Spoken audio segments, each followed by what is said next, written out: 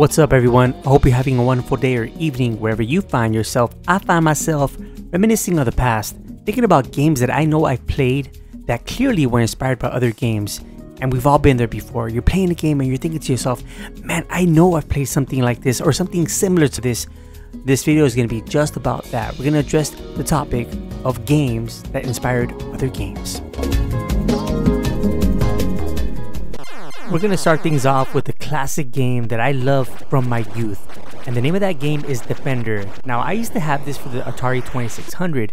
And although today, by today's standards, it looks very dated, one of the things that the Atari, in retrospect, did very well is its scrolling. The way it scrolls from left to right, the screen, is incredible you know and i know that it's you might laugh at that but honestly that that goes a long way. If you look at old school consoles and games they weren't all scrolling the same if you know what i mean. So this game has that going for it. But and if you notice the objective of the game is you have these um, aliens that want to pretty much uh, abduct humans and you have to basically uh, help humans on the map. At the very center top screen that's your map and it tells you which people um, have been abducted. As soon as they're abducted you have to shoot the alien make sure not to shoot the people which is indicated by that, that little circle yes that little circle is humans and you safely have to carry the humans back down to the city and that's the objective of the game and you know what there's been a few games that remind me of this one and let's go ahead and take a look at those right now and the game that reminds me of Defender is a game by the name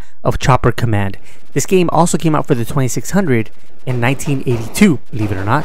And uh, I mean, look at it for yourself, guys. Uh, it's very, very similar. You have a beam that shoots very similar to Defender.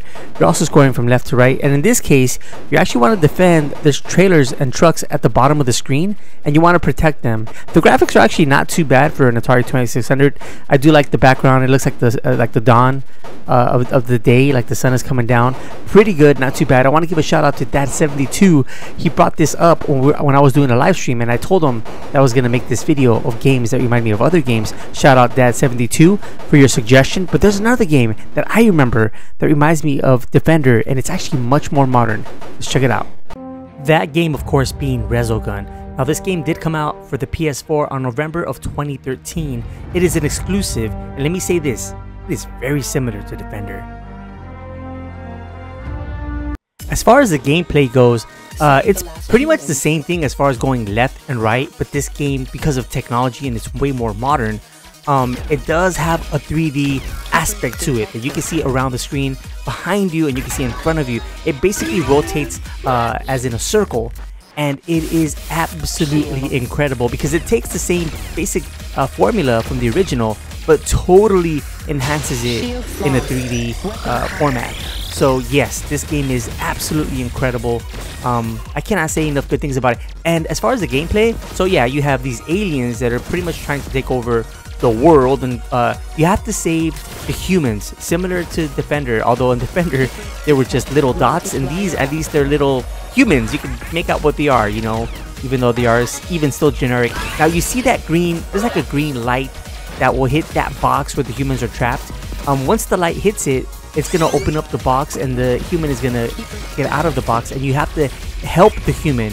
Uh, they can walk around um, but you want to protect them because they're not safe. See there's another light right there. There was a green light and it opens up the box and the little human is hanging on for dear life and you have to take them to that safety zone which is like that you see it right there. It's like that i don't even know it's like a triangular shape. They have that green beam that's a kind of radiating energy north northward but yes, so this game is absolutely incredible. See, there's a there's a light. I don't know if I missed it right here.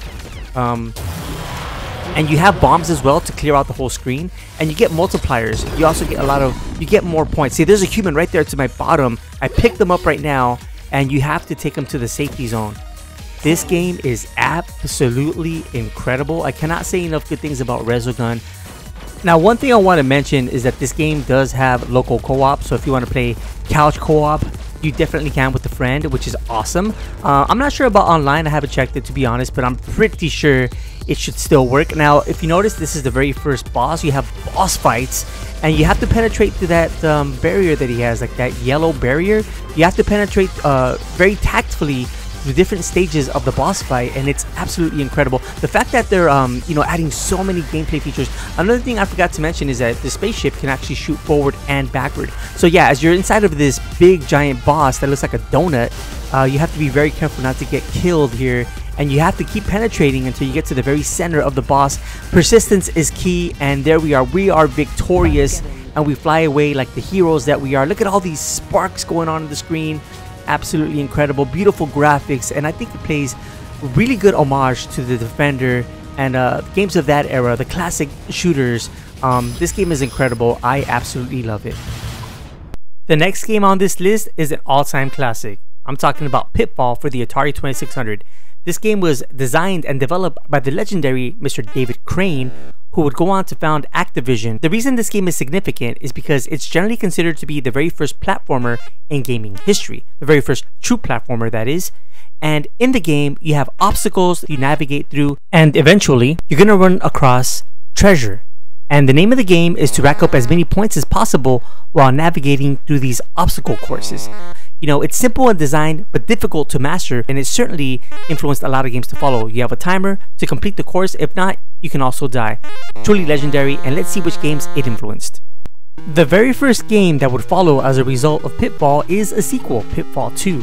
This game is significant because, of course, it was also designed by David Crane, but it is basically the same thing as Pitfall, but kind of on steroids. There's just a lot more going on, a lot of layers uh, through the levels. You know you still have scorpions you have different types of animals that can uh, hurt you on your quest but this game is a lot more complex a lot more levels to the level design if that makes any sense. You have layers upon layers of platforming.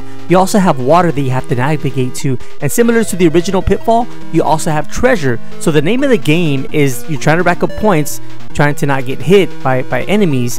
But also this game introduced checkpoints. You have these crosses that serve as checkpoints. And if you die you go back to that checkpoint pretty much you, you won't completely die until you exhaust all of your points. So as long as you continue to get treasure uh, very similar to part one you're gonna rack up points but the points decrease every time you get hit. Uh, if you look at the level it's just very interesting how you have different layers of, of, of the cave as you keep going deeper and deeper. This game is, is different than the original pitfall because there's more emphasis on exploring but going down underneath uh, whether it's water or just the caves themselves. Um, but notice the design here because it's going to be very significant. For the game that was not really a sequel to this one, but the inspiration is very evident. And that game, of course, being A Boy and His Blob. Yep, this game was also designed by David Crane. Now, this game is very interesting because I would argue that it's not exactly a sequel to Pitfall 2, but my goodness, the similarities, the parallels are evident. It's a very similar game. You know, you scroll from left to right, and unlike Pitfall, Pitfall 1 or Part 2, you can't really jump. This game, um, it does things a little bit differently, but similar to Pitfall 2, this game has more of an emphasis of going down. And eventually, uh, you start off in the city, and you keep going down, you keep going down into like caves, which is, yeah, you guessed it, very similar to Pitfall 2.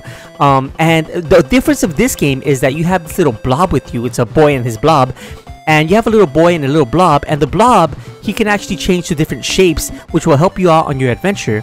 He can turn into ladders he can turn into pretty much any kind of object that you need him to turn to. He can punch a hole on the floor so this game even though you can't jump per se it's kind of emphasizes going down and down and down and of course, if you want to climb a ladder, you can go back up. Eventually, you will come across treasures, and you will come across um, very similar, again, very similar to Pitfall 2.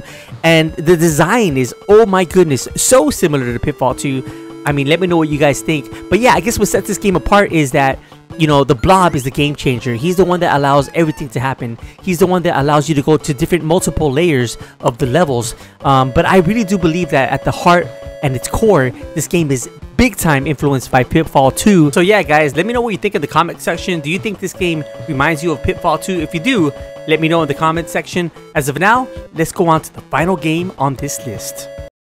And for that final game, it's a game that's very special in my heart. Um, it's an original black box game that came out for the Nintendo, the original Nintendo. And the name of that game is Kung Fu.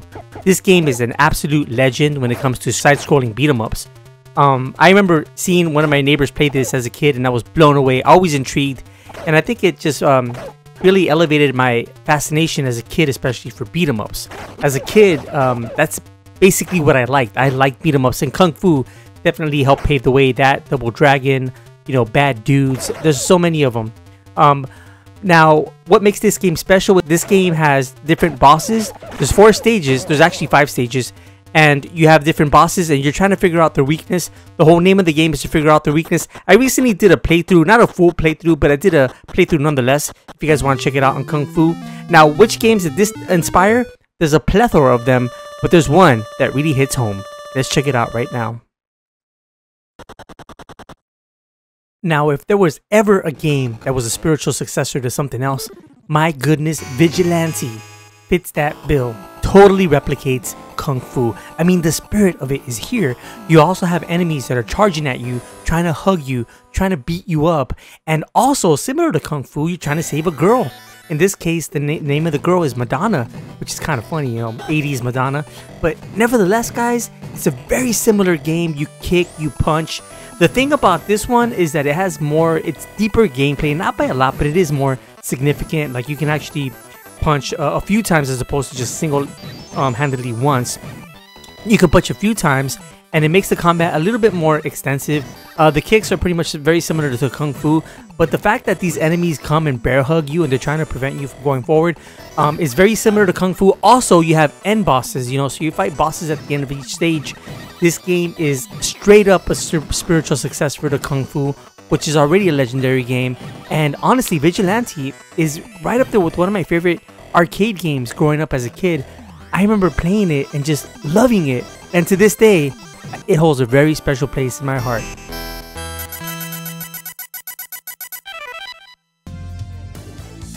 So that's it guys, those are the games that I believe are spiritual successors to other games. Now honestly there's countless examples and I'm sure you're gonna let me know in the comment section which games come to your mind. These are the ones that I kind of hold dear to my heart and I wanted to share with you guys because maybe some of them you never even heard of, like A Boy and His Blob and Pitfall 2. You know, never maybe you never would have thought of that for correlation. As of now, guys, I want to thank you so much for watching. I want to thank you for subscribing. And as always, I will catch you absolutely on the next vid.